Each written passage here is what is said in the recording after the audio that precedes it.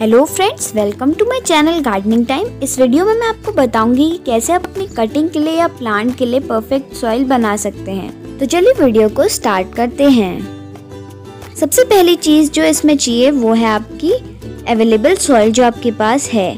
Friends आप कोई भी सॉइल यूज़ कर सकते हैं जो आपके पास है बट वो फंगस फ्री होनी चाहिए। उसमें फंगस नहीं होना चाहिए, वरना आपके प्लांट खराब हो सकता है। एक परफेक्ट मिक्सचर के लिए आपको 60% परसेंट सॉइल चाहिए। और सेकेंड चीज़ जो है, वो है कोकोपीट आपको मार्केट में ऐसी ब्रिक्स भी मिलती हैं कोकोपीट की, और आपको ऐसा पाउडर भी मिलता है। बट अगर आपके पास ये दोनों ही अवेलेबल नहीं है तो आप कोकोनट के जो बाहर के हेयर्स होते हैं, उससे ये घर पर ही बना सकते हैं। हमें यहाँ पर 20% परसेंट कोकोपीट सॉइल में मिक्स करना है।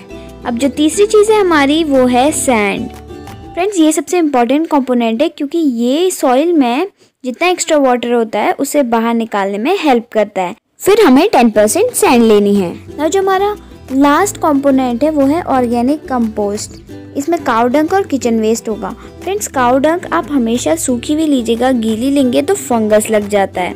अब अगली चीज़ है हमारी kitchen waste friends kitchen waste से आपके प्लांट को बहुत सारे न्यूट्रिएंट्स मिलते हैं। और लास्ट में हमें 10 परसेंट ऑर्गेनिक कंपोस्ट लेनी है और हो गई हमारी सॉइल तैयार। अगर आपको मेरी वीडियो पसंद आई हो वीडियो को लाइक ज़रूर करिएगा।